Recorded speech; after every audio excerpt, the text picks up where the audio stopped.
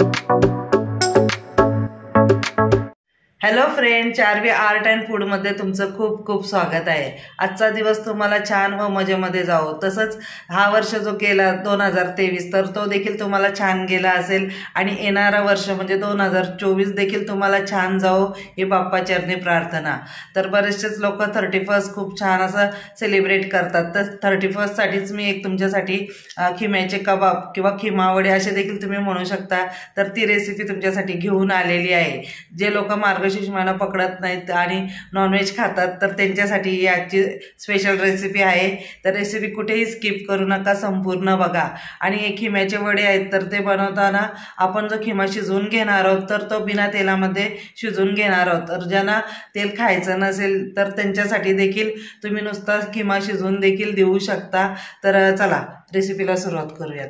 खिमा आणलेला आहे बाजारामधून जाऊन आणि एकूण अडीचशे ग्राम आहे हा बोकडाचा खिमा. तर खिमा आणल्यानंतर आपल्याला एकदा त्याला स्वच्छ धुवून घ्यायचं आहे आणि त्यातील सर्व पाणी आहे तर ते व्यवस्थित आपल्याला काढून घ्यायचं आहे.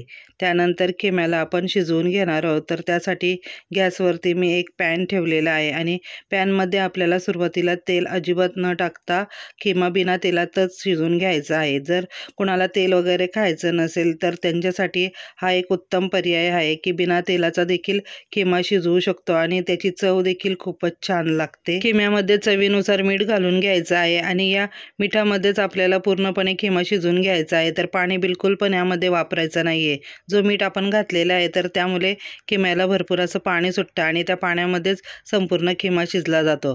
तर यावरती आता आपल्याला झाकण ठेवायचं आहे आणि साधारण पाच मिनटानंतर आपण पाहू शकता किम्यामध्ये भरपूर असं पाणी जमा झालेलं आहे आणि पुन्हा आपल्याला व्यवस्थित मिक्स करून घ्यायचं आहे किमा आणि पुन्हा आपल्याला झाकण ठेवून किमा व्यवस्थित शिजवून घ्यायचा आहे. किमा शिजण्यासाठी जास्त वेळ लागत नाही तर साधारण पंधरा ते वीस मिनटामध्ये आपला किमा शिजवून होतो. तरी ते झाकण मी काढलेलं आहे तर त्यामध्ये आता आपल्याला सर्व मसाले मसाले घालून घ्यायचे आहेत.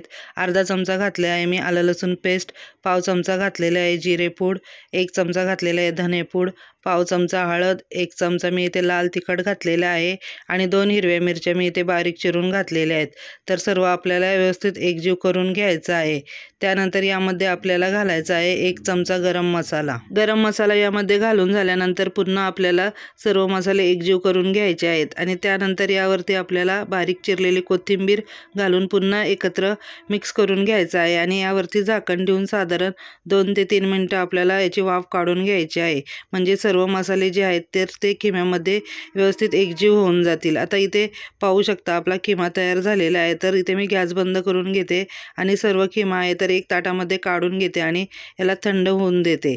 जर तुम्हाला हे वडे संध्याकाळी करायचे असतील तर तुम्ही अशा प्रकारे खिमा सकाळी शिजवून घेऊ शकता आणि त्यानंतर हा किमा दिवसभर तुम्ही फ्रीजमध्ये ठेवला ठेवलात तरी चालेल. आणि जेव्हा तुम्हाला करायचा आहे तर तेव्हा तुम्ही तो फ्रीजमधून काढून त्याचे वडे किंवा कबाब करू शकता. तर फ्रीजमध्ये ठेवल्याने त्यातील जो पाण्याचा अंश आहे तर तो देखील कमी होतो आणि आपले वडे देखील खूप छान होतात. तर इथे माझा किमा थंड करून झालेला आहे तर त्यासाठी इतर गोष्टी ज्या लागणार आहेत तर त्या आपण घेऊयात. तर इथे दोन अंडी घेतलेली आहेत आणि ती अंडी आपण फोडून घेणार आहोत आणि त्यानंतर त्यांना व्यवस्थित फेटून घ्यायचं आहे.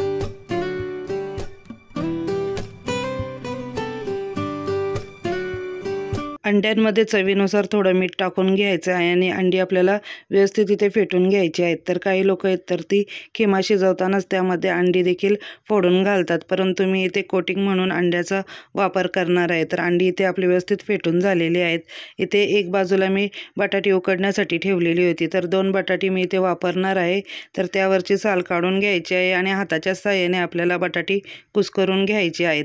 तर किसून न घेता अशा प्रकारे आपल्याला हाताच्या साह्यानेच कुस करायचे आहेत. म्हणजे त्याच्यात छोट्या छोट्याशा फोडी देखील राहिल्या पाहिजेत. तरी ते त्यामध्ये आपण चवीनुसार मीठ टाकून घेऊयात. त्यानंतर हळद आणि एक चमचा मी इथे घेतलेला आहे लाल तिखट.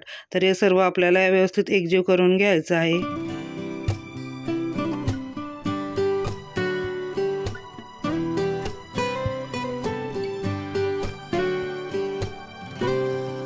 मॅश केलेला बटाटा आता आपल्याला खिम्यामध्ये घालून घ्यायचा आहे. तर तुम्हाला जसा लागेल त्यानुसार तुम्ही यामध्ये बटाटा ॲड करू शकता. तर मी इथे सुरुवातीला थोडासा बटाटा यामध्ये टाकून पहिले सर्व मिश्रण एकजीव करून घेते आणि त्यानंतर लागलं तर मग मी जे राहिलेलं बटाट्याचं मिश्रण आहे तर ते देखील यामध्ये मिक्स करून घेणार आहे. तर मला इथे अजून बटाट्याचं मिश्रण लागणार होतं म्हणून मी ते राहिलेलं सर्व मिश्रण यामध्ये टाकून घेतलेलं आहे. आणि खिम्यासाठी व्यवस्थित असं मिश्रण जे लागतं आपल्याला की जास्त आपल्याला हे पातळ नको असतं अगदी वडे आपल्याला याचे थापता आले पाहिजे अशा प्रकारचं मिश्रण तयार झालं पाहिजे. तर यामध्ये ना थोडी बारीक चिरलेली कोथिंबीर घालायची आहे आणि मिश्रण आपल्याला व्यवस्थित एकजीव करून घ्यायचं आहे.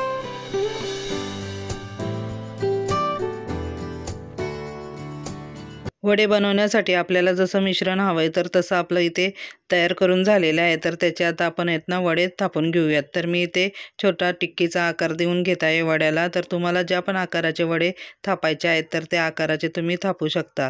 इथे एक वडा तयार करून झालेला आहे तर तो ताटामध्ये काढून घेऊयात. अशाच पद्धतीने दुसरा वडा देखील मी थापून घेत आहे.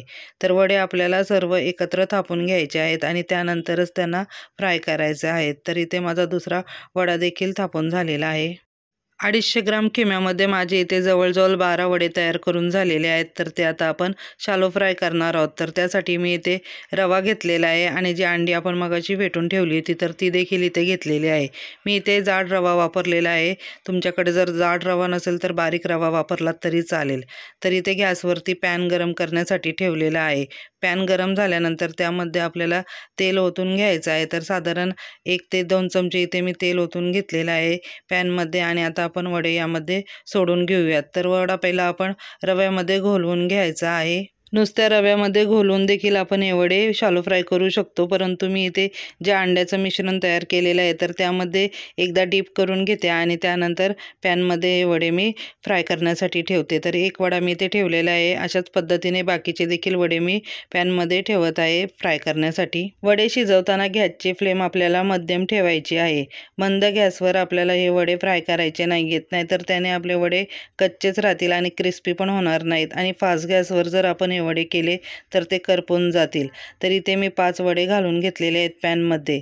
जेवढे पॅनमध्ये आपल्याला वडे ठेवता येतील तर तेवढेच आपण यामध्ये टाकून घेणार आहोत. तर इथे पाचही वड्यांना व्यवस्थित तेल लागावं म्हणून मी पॅन देखील फिरून घेत आहे.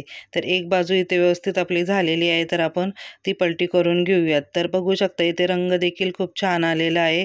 अशाच प्रकारे आपल्याला दुसरी बाजू देखील गोल्डन ब्राऊन रंग येईपर्यंत भाजून घ्यायची आहे. किम्याच्या वड्यांची चव वाढवण्यासाठी यामध्ये मी एक पदार्थ वापरणार आहे ते म्हणजे तूप. तर तूप टाकल्याने किम्याचे वडे चवीला अतिशय चांगले होतात. तर तुम्ही पण नक्की ट्राय करून बघा. आणि याच्या दोन्ही बाजू गोल्डन ब्राऊन झाल्यानंतर आपल्याला हे वडे काढून घ्यायचे आहेत. तरी ते आपल्या दोन्ही बाजू व्यवस्थित झालेले आहेत. तरी ते पाहू शकतो वडा खूप छान दिसत आहे. आणि अशा प्रकारे सर्व वडे मी फ्राय करून घेणार आहेत. तर एक बॅच तर आपली इथे झालेली आहे.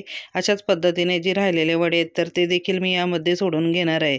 तर पॅनमध्ये पुन्हा आपल्याला तेल टाकून घ्यायचं आहे आणि वडा अशाच प्रकारे रव्यामध्ये त्यानंतर अंड्यामध्ये आपल्याला डीप करून पुन्हा पॅनमध्ये शिजवण्यासाठी ठेवायचा आहे.